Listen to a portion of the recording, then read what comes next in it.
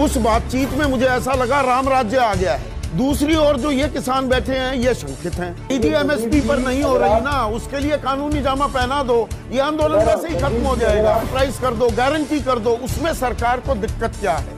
इसका जवाब आज तक नहीं मिला, तीस दिन हो गए। तो प्राइवेट सेक्टर एमएसपी से नीचे नहीं खरीद सकता, ये कानून बना दो। बनाती कि निजी कारोबारी भी आएँगे, कंपनियाँ आएँगी, बहुराष्ट्रीय कंपनियाँ आएँगी। एमएसपी से नीचे नहीं खरीद सकती।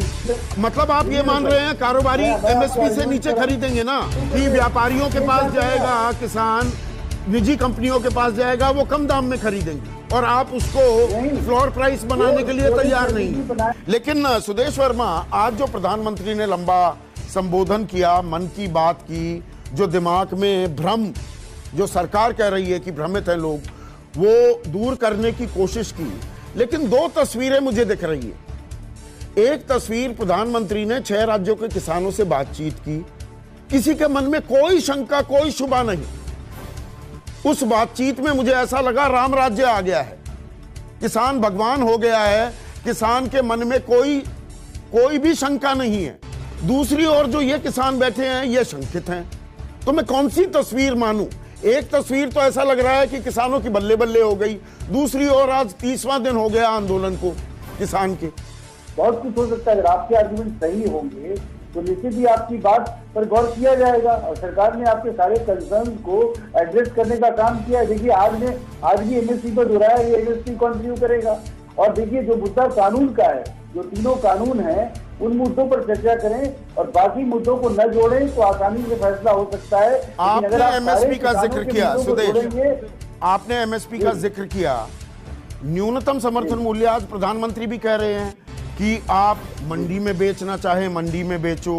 आप निजी कंपनियों को बेचना चाहे वहाँ बेचो। प्राइवेट मंडी में बेचना चाहे वहाँ बेचो। दूसरे राज्य में जा, जाकर बेचना चाहे वहाँ बेचो। निर्यातक उत्पादक अगर निर्यातक बनना चाहे निर्यातक बन जाए।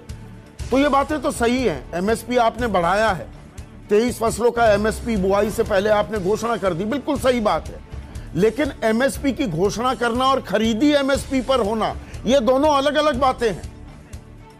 खरीदी एमएसपी पर नहीं हो रही ना उसके लिए कानूनी जामा पहना दो।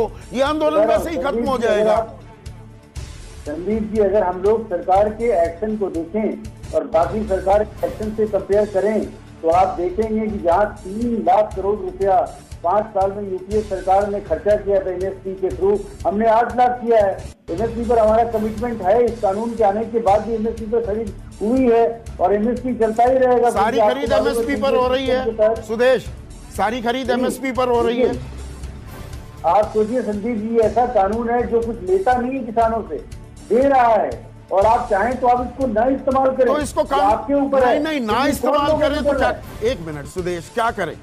अठारह सौ अड़सठ रुपए की धान है ग्यारह सौ रुपए में खरीदी हो रही है। अठारह सौ पचास रुपए की मक्का है नौ सौ रुपए में खरीदी हो रही है। पाँच हज़ार पाँच सौ पंद्रह की कपास है बत्तीस सौ रुपए में खरीदी हो रही है। सात हज़ार दो सौ उन्नीस रुपए की मूंग है पैंतालीस सौ रुपए में खरीदी हो रही है। उसको फ्लोर प्राइस कर दो गारंटी कर दो उसमें सरकार को दिक्कत क्या है? इसका जवाब आज तक नहीं मिला तीस दिन हो गए।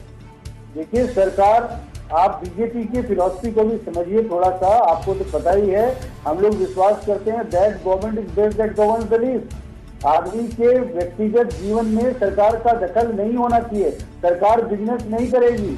हाँ। जो प्राइवेट सेक्टर है उसको ही बिज़नेस करना तो प्राइवेट सेक्टर एमएसपी से नीचे नहीं खरीद सकता ये कानून बना दो। और सरकार कमिट कर रही है कि सरकार खरीदेगी। अगर आपको कोई नहीं खरीद रहा सरकार के पास आइए अगर सरकार अपना कमिटमेंट नहीं पूरा करती है तब आप बोलिए। सरकार सारा नहीं खरीदती ना सुदेश। आप जानते हैं व्यवस्था को। सरकार सारा खरीदती है क्या? सरकार पर्ची देती है। उस पर खरीदी होती है ना। छह प्रतिशत ही तो एमएसपी पर आते हैं। सर आप छह प्रतिशत किसान की तो एमएसपी पर आते हैं ना। हाँ। तो उसमें दिक्कत क्या है? उसमें दिक्कत क्या है? हरियाणा और पंजाब में, हरियाणा में पिचासी फ़ीसदी एमएसपी पर खरीद होती है। पंजाब में नवासी फ़ीसदी। बिहार में एमएसपी वाला सिस्टम खत्म हो गया एपीएमसी खत्म हो गई। वहाँ बयालीस हज़ार रुपए सालाना आए है किसान की, साढ़े तीन हज़ार रुपए। ये दिक्कत है किसानों की। जहाँ जहाँ तक आय की बात है, संदीप जी आर्ग्यूमेंट हो सकते हैं। देखिए प्रोडक्टिविटी एक बहुत बड़ी चीज़ है और हमारे किसान का पैदावार अच्छा नहीं है। हम ड्रिप इरिगेशन की बात कर रहे हैं अच्छे टेक्निक की बात कर रहे हैं जिससे पैदावार बढ़े इंटरनेशनल स्टैंडर्ड्स तक आए। बिल्कुल तो तमाम बातें बहुत सही बातें हैं। कृषि में इन्वेस्टमेंट आनी चाहिए आधुनिकीकरण होना चाहिए आय और बढ़े। मुझे ये समझा दें एमएसपी को कानूनी जामा पहनाने में सरकार को क्या नुकसान है? क्या दिक्कत है? जब सरकार बोल रही है कि हम खरीदेंगे आप आइए हमारे पास आप में जाइए ना मैं ये सारे आंकड़े गलत बता रहा हूँ। मैं सारे आंकड़े गलत बता रहा हूँ जितने की खरीदी हो रही है मैं हकीकत बयां कर रहा हूँ यहाँ पर। सुदेश वर्मा गलत आंकड़े बता रहा हूँ क्या?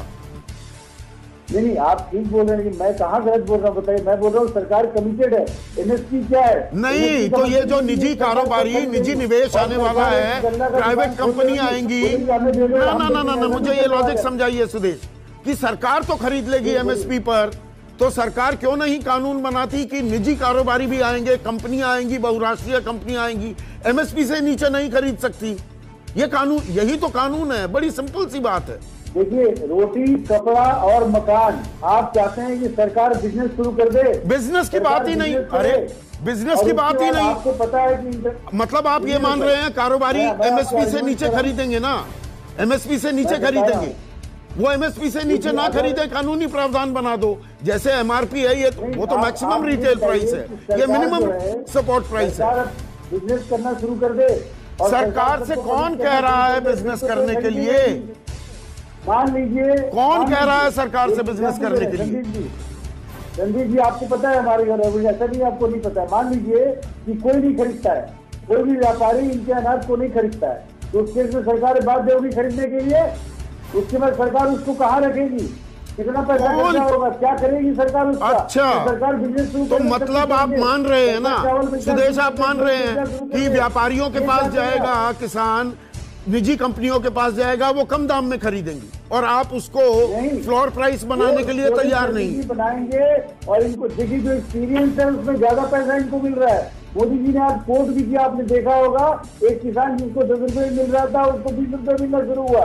तो व्यापारी जो जो अड़तिया और बाकी जो मिडिल मैन है वो दाम ले लेते हैं। कानूनी जामा पहनाने में दिक्कत क्या है? प्रधानमंत्री जब गुजरात के मुख्यमंत्री थे, जब गुजरात के मुख्यमंत्री थे। सुदेश 2011 में तो working group on consumer affairs जो कमिटी थी उसके अध्यक्ष थे। बाकायदा चिट्ठी लिखी तत्कालीन प्रधानमंत्री मनमोहन सिंह को कि एमएसपी का कानूनी प्रावधान होना चाहिए। आप विपक्षियों की तमाम बातें गिनवा रहे हैं वो ये करना चाह रहे थे देखिए हमने किया अब वो बवाल काट रहे हैं। आप कह रहे थे ना कांग्रेस को कि एमएसपी का कानूनी प्रावधान लाओ तो आप क्यों नहीं ला रहे? हाँ दो ना। मैं इसका जवाब दूँ? हाँ प्लीज़ देखिए आपने आपने जो ज़िक्र किया आपको पता होगा कि पहले जमाने में जब कांग्रेस की सरकार थी तो वो लोग एमएसपी अनाउंस करते थे खरीदते नहीं थे। और इसलिए मैंने जो आंकड़े आपको दिए कि आठ लाख करोड़ का पाँच साल में खरीदा हमने तो उससे दुगना से भी ज़्यादा खरीदा है। हमने एमएसपी कमिट किया उसके बाद अड़तिया लोगों पर किसान डिपेंडेंट होते थे पैसा के लिए जो अपने प्राइवेट ज़रूरी होती थी तो अब तो हम डायरेक्ट सवाल का जवाब नहीं आ रहा है। बैंकिंग सिस्टम का भी पेनिट्रेशन है। नहीं नहीं मैं उन सब पर तमाम बातों पर आऊँगा। मैं दो हज़ार रुपए की किसान निधि जो आज सातवीं किस्त जारी हुई है उस पर भी चर्चा करेंगे। और कांग्रेस